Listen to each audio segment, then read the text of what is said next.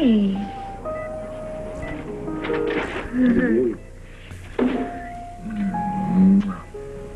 so, did I dream it? Did you dream what? Christmas. All these people that I thought hated me.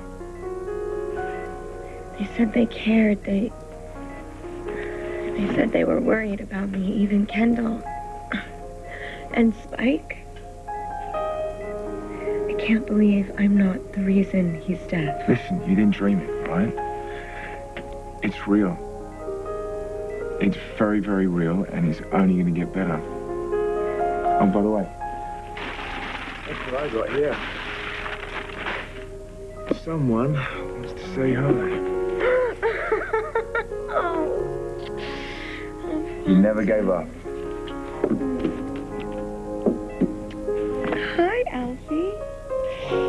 Okay, right? I mean, after all the wrong turns and the, the bad moves, I think my luck is finally changing. The JR confirms that he was nowhere near the scene of the hit and run. Are you sure? A radio broadcast of a concert was playing in the background, and there was a time and date stamp. Could have been doctored. Amanda Dillon corroborates it. And that stuff on the video, JR wouldn't fake his alibi with that. But it was his car. So it was stolen? Well, my men are following up. One thing I haven't figured out is the bomb shelter. After you and Greenlee fell in, someone deliberately covered the opening. Oh, my God. Whoever it was definitely didn't want you found. Well, they almost got their wish. Anything you can tell me? We were down there, and somebody was calling down to us, and uh, it wasn't JR. And uh, said that someone was looking for me, and then they... You didn't recognize his voice? No, but I will. Next time I hear it. Well, I'll keep you posted. Come here.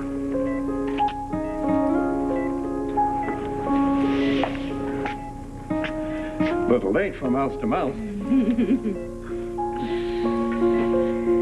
When can I go home? One step at a time. Your immune system is taking a big hit. And uh, let's keep the excitement to a minimum, okay? You don't leave your post until you're relieved. Understood? Yes, Chief. A police guard, Derek. What's going on? It's just a precaution. A precaution. Yes. So what do you tell me, Derek? That my, my daughter's still under arrest?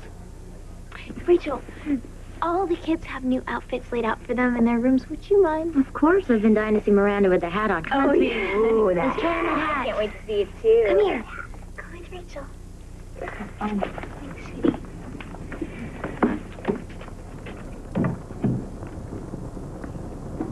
You know, every day, I, just, I had the same thing going over and over in my head.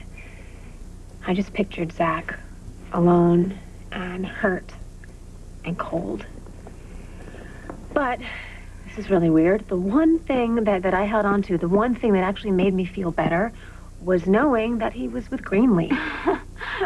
Just a tiny detail that they can't stand to be in the same airspace. I know. I know. I know. It's, uh, I, it's crazy. I mean, they're, they're sworn enemies. But when they were in that pit, Greenlee stitched up Zach's head. And then he sucked snake venom out of her arm. I mean, isn't that amazing? Wow. You're forgetting another really amazing part. You. You and Aidan. You guys, you never stopped. You never gave up hope.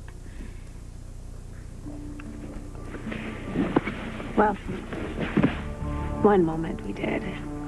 Oh, Kendall. We gave up. It's, it's okay. So much time had passed without a word, without a sign of them, and the weather was so terrible, and it's only natural that you would have doubts, that you would jump to the worst case scenario, but, but you never let it stop you. You kept going. And so any fears, any doubts that you had, they didn't stand a chance. Aidan and I aren't exactly heroes. And actually, I'm just glad that the whole thing is over. I'm glad it's done. Greenlee and Zach are, are safe and they're back. And I'm hungry. I would love to have. Do you want cookies? Kendall? Let's have Christmas Ke- cookies for Kendall, breakfast. Kendall. I'm starving. Kendall, Yes. you and Aidan. What happened between you two? Aidan and I. Um. You know, it's just you. You hope, and and you you wish, and you pray. Please, please come back, please. And you think that maybe they will.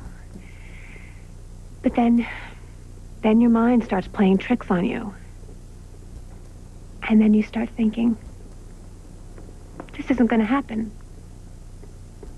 Nobody gets miracles that big.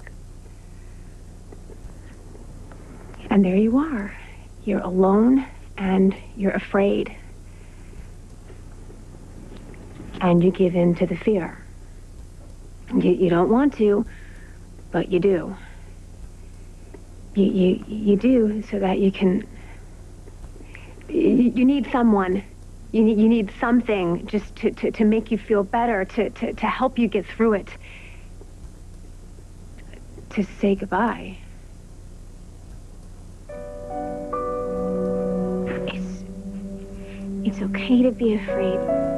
It's okay to stumble, to doubt God, to doubt everything.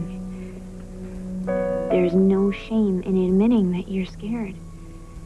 And there is no shame in doing what you need to to get through.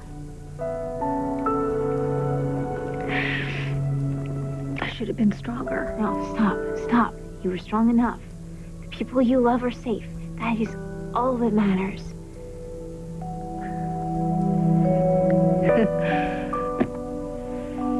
My sister. How do you do that? you always make me feel so much better. You make me feel stronger and braver. I miss you. Come on. Can I bribe you? Can I bribe you to stay with the Christmas cookie that I made? Not if you made them.